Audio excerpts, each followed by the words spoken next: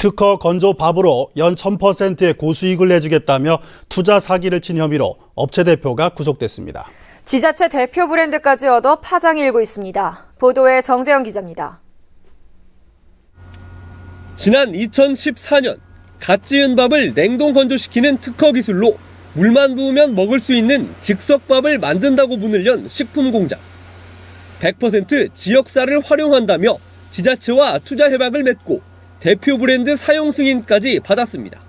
쌀뿐만이 아니라 보리, 벼, 현미 또는 고추, 양파, 마늘, 파 같은 것들도 건조를 해서 건조 시장 쪽에 진입을 좀 더 크게 하고 싶습니다.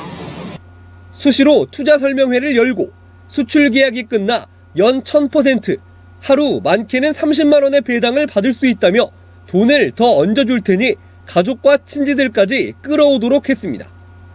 지난해 8월부터 석 달 동안 2천여 명으로부터 이렇게 끌어모은 돈이 150억 원.